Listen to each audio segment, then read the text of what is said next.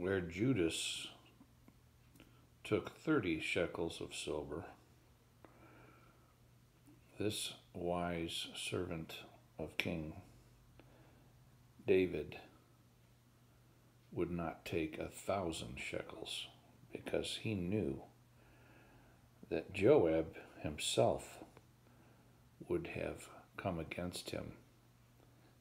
In other words, he had he would have nothing left to do when the king asked him, Well, why did you kill Absalom?